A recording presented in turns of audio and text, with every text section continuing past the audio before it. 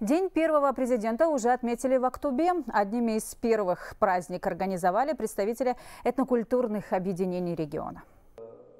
Арусюн Микаэлян возглавляет армянскую общину с более чем 20-летней историей. В составе этнокультурного объединения сегодня числятся порядка тысячи человек. Активисты участвуют в общественной жизни региона. Регулярно проводят спортивные, творческие мероприятия, выпускают книги на государственном языке, обучают желающих в воскресной школе. В Казахстане созданы все возможности для того, чтобы ну, развиваться, учиться, детей учить, их э, будущее обеспечить. Конечно, мы благодарны за это. И первый президент Назарбаев, и нынешний президент Токаев создали все возможности для того, чтобы мы здесь э, друг с другом жили вот, в спокойствии. Под единым шанрахом накануне Дня первого президента страны собрались представители всех 18 этнокультурных центров. Они подвели итоги работы за текущий год, поделились планами на будущее.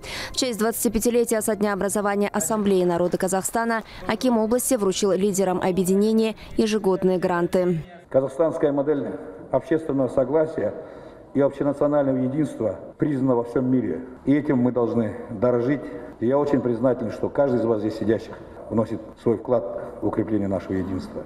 Вот такими совместными усилиями мы сможем добиться еще больших успехов в деле становления и развития как нашей области, так и страны в целом. Отмечу, в дружбе, мире и согласии сегодня в регионе проживают представители около 100 этносов. Айсулу Махмутова, Булат Мулдагалиев, Актубе, Хабар 24.